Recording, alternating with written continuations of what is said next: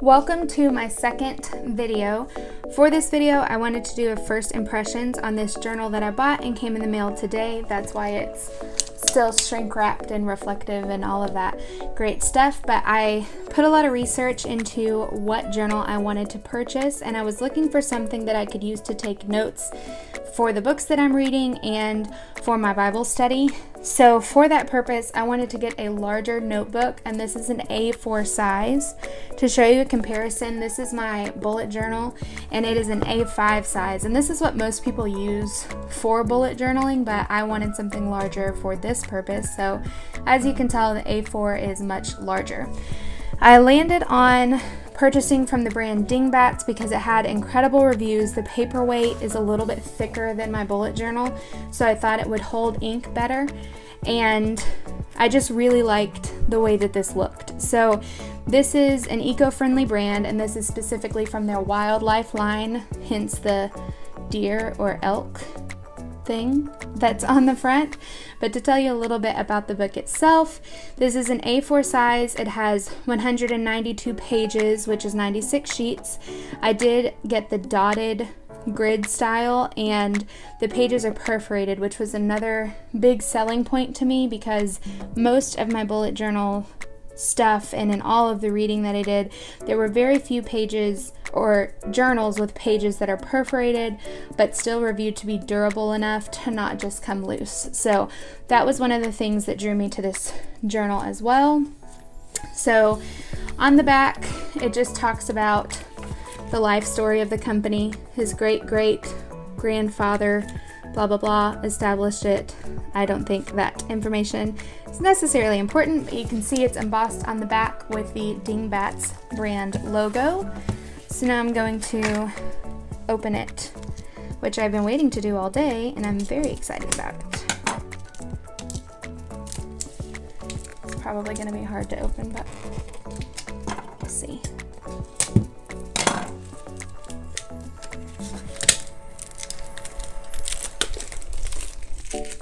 Probably the sloppiest opening of a notebook ever to be published on YouTube, but that's okay. I like it much better without the reflection of the plastic wrap.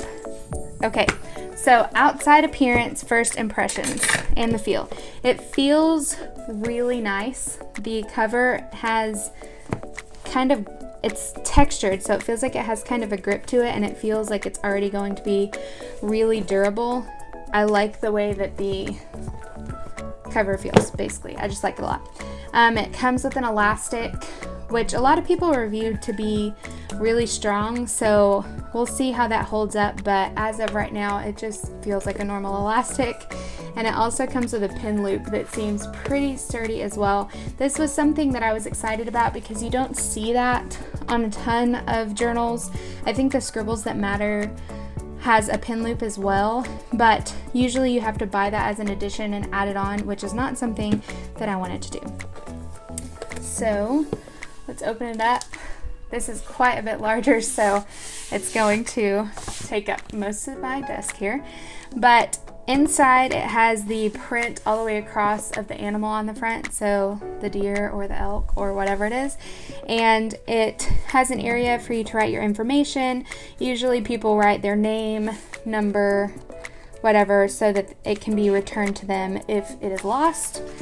And it opens up next to blank pages and then right up into a spread. So even that first blank page is perforated. So off the bat, I noticed that the dots are a little bit darker than what I'm used to having in a bullet journal. So this is the Leuchtturm, Leuchtturm, whatever, 1917. And I think that the pages in the Leuchtturm, Leuchtturm, it's German. I don't know how to say that.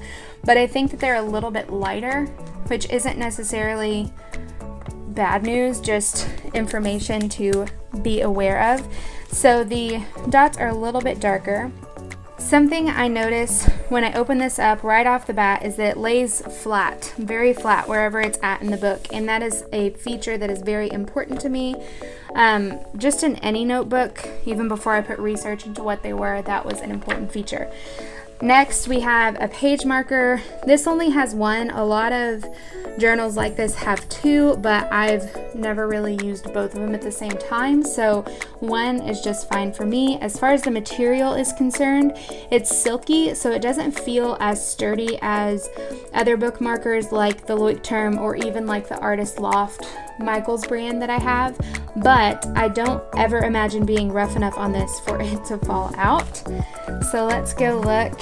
Oh, and the pages are not numbered, which makes sense because they're perforated. So if I'm on page 200 and I rip it out and then page 200 is missing, then the page numbers don't mean as much anymore anyway. So I also don't imagine having to number these pages for the purpose that I'm using this book for.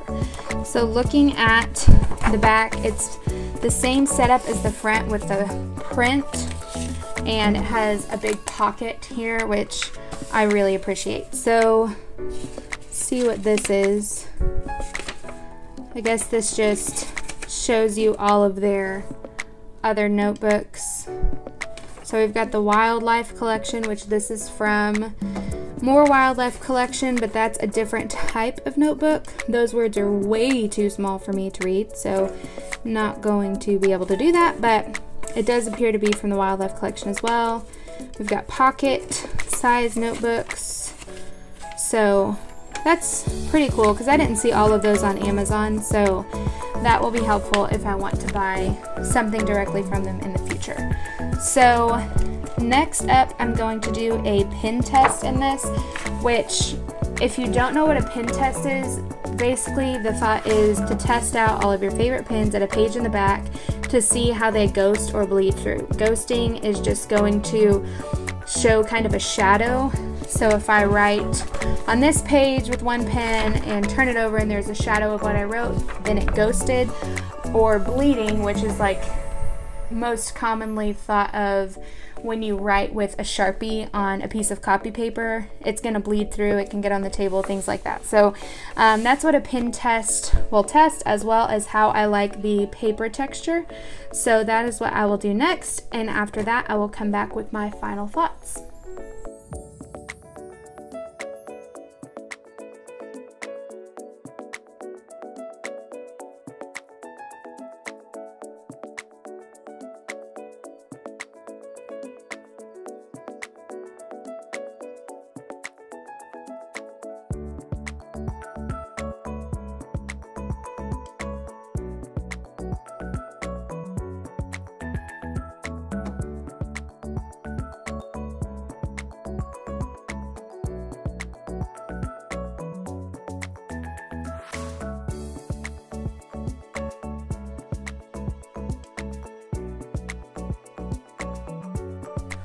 Alright, here is the finalized pin test. I tried to keep it consistent throughout with what I did.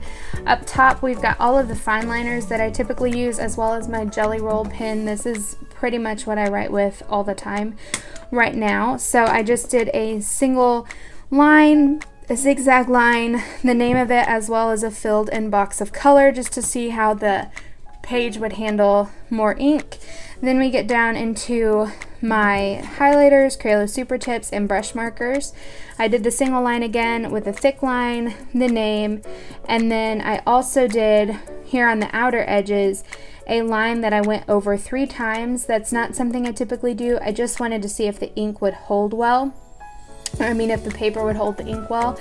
On this Tombow dual brush pen, the square, the page got a little bit roughed up. I don't know if you can see that super well, but the page looked like it didn't handle that square well, but that was the only one that it did that with.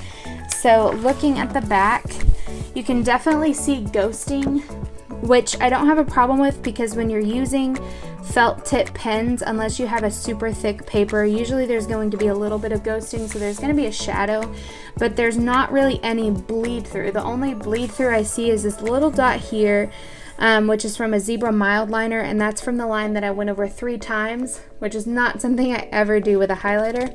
So I just wanted to get to, again, try that out for testing purposes, but I do want to show you a comparison between a couple other notebooks here.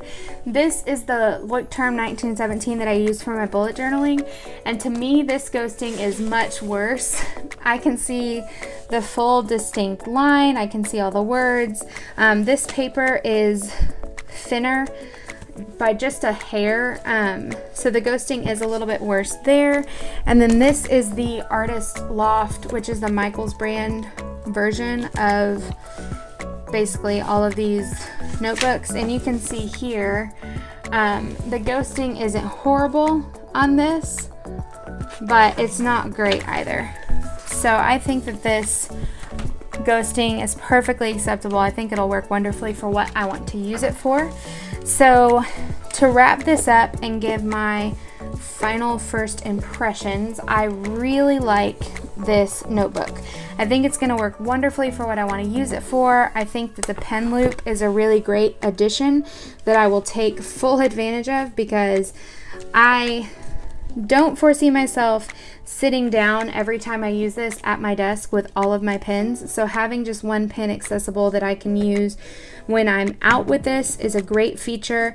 I feel like this notebook feels sturdy, it feels durable, and it will last for a long time. The only thing that I will have to keep you guys updated about, other than how the paper works, is the perforated pages.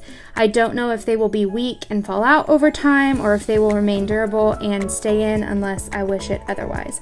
So that is kind of my final first impressions on this notebook. I'm really excited to use it and I will show you guys me doing a couple things in it in the future so you can see how it works with actual hand lettering and note taking. So thank you for watching my video if you took the time to do so and I hope that this was helpful in picking out a bullet journal or just a journal of any kind.